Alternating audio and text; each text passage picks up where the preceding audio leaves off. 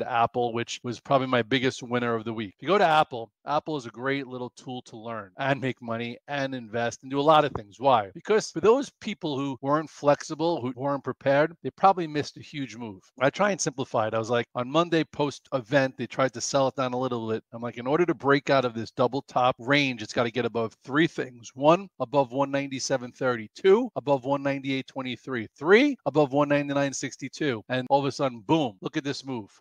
Went to 207 on uh, Tuesday. Yesterday went as high as 220.20, which was one of the measured moves, and then came in a little bit. So either which way, I know for me, it was one of my biggest winners in a while. I had options. I rolled them up yesterday into the close on that pullback. I have a little stock, and now it's just going to have to probably sit and digest a little bit. But that was two big moves in Apple. So if you're an investor in Apple, congratulations. It may have changed your life in the last decade. If you're a trader of Apple, there are definitely times where it can make you a lot of money, and it worked out very well. I did not expect this to happen, but you never have to expect. You could just be on the right side of it and be pleasantly surprised. If You have two scenarios in your head, multiple plans when it does trigger. If you execute with confidence, which is why we get up early and get planned, you can make good money.